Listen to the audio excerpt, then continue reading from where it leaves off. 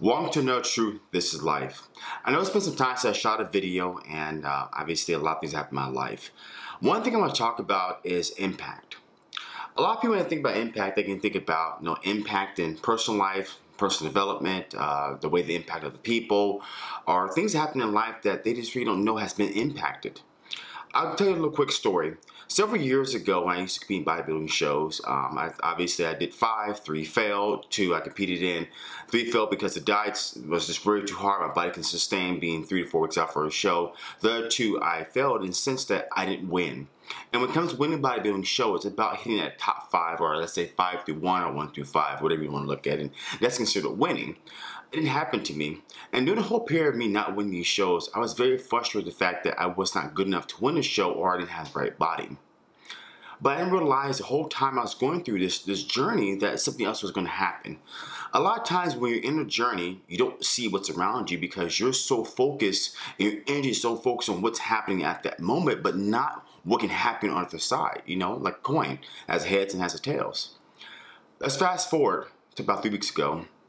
I had a client I competed, which I always wished for in their first bodybuilding competition. It was amazing. The client worked really hard. Uh, his name is Ming. He worked really hard in competition. He had the best body I've ever seen as far as transformation. All natural for those of you don't want to know, but it doesn't matter. Um, he did really well. Actually, did look better than I would in my first show. He actually won. And what I mean by won is that he competed in two classes. One novice being that people that never competed in competition or maybe once or twice they competed in competition.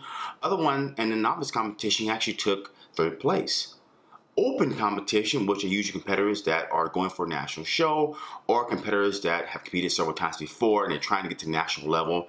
And obviously, best thing to do is hit the top five. He actually got second place.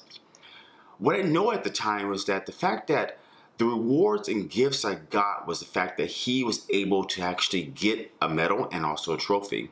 But the bigger gift I was given was that because I didn't compete in that competition, I started my previous competition and didn't win, somehow Earth or, or law or gravity, and sorry, not gravity, polarity, attraction, was being in the sense that it was teaching me to help someone else, how to care, how to show compassion.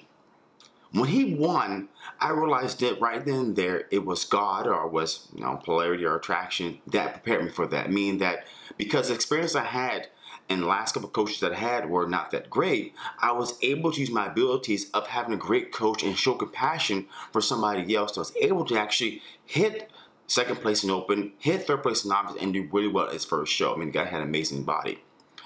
Because I was able to go through those experiences, it made me a better person for him. So when it comes down to it, you know, you would think of, okay, well, I lost because I didn't hit the top place when I wanted to, and he won. I never look at that anymore.